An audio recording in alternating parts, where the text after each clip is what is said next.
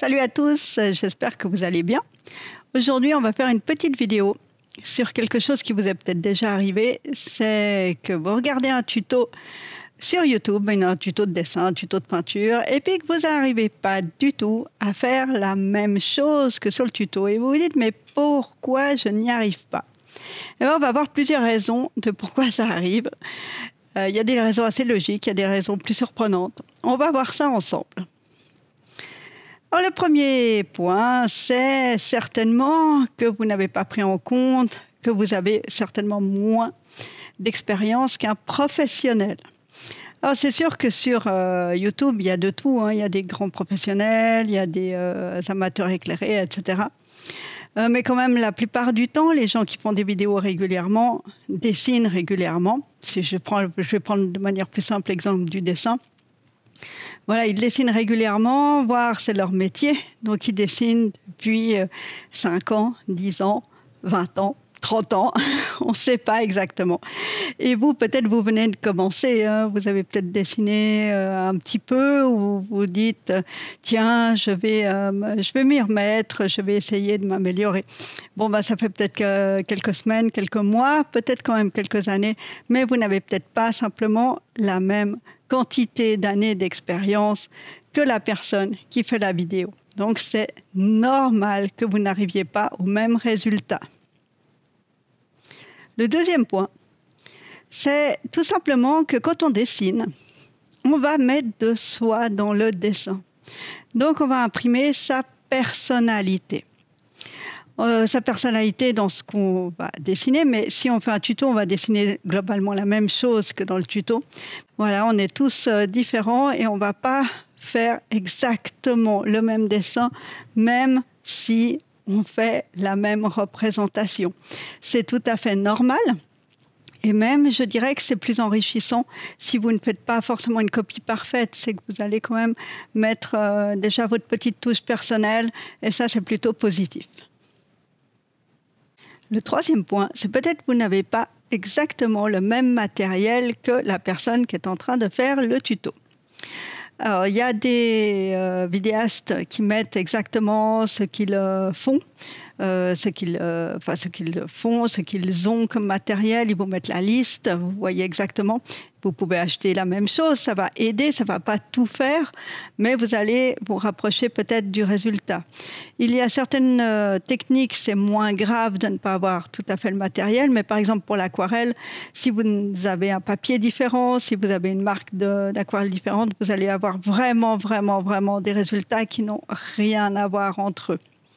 Euh, d'ailleurs, j'ai fait des vidéos sur ma chaîne euh, personnelle où je montre exactement quel matériel j'utilise, quelle couleur j'utilise. Euh, voilà, je vous mets ça ici dans un petit carré, dans le petit rectangle.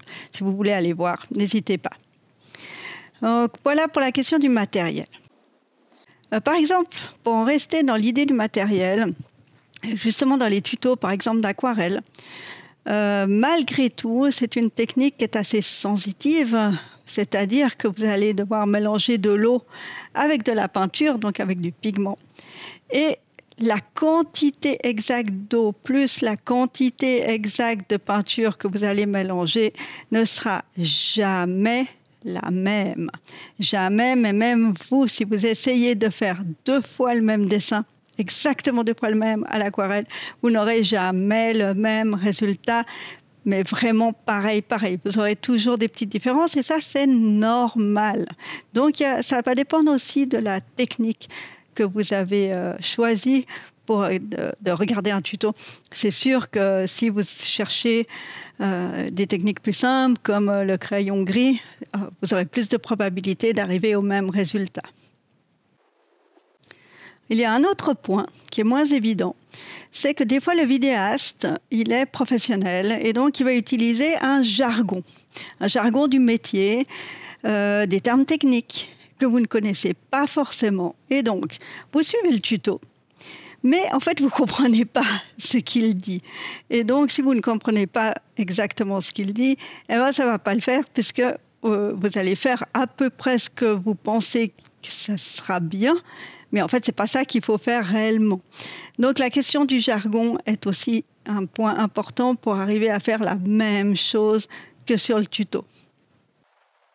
Alors, on a, parlé du vidéaste, mais il y a aussi vous-même, bien sûr. Hein, vous faites partie quand même du duo, hein, de l'addition euh, entre le vidéaste qui, fait, qui vous fait le tuto et vous qui essayez de le réaliser.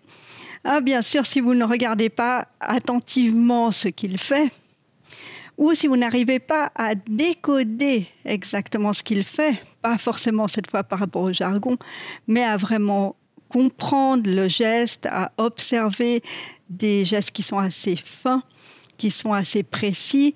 Voilà, là, il va falloir commencer à regarder attentivement certaines vidéos, enfin, les vidéos euh, où, en tout cas, il y a besoin de technique pour arriver à avoir le même résultat.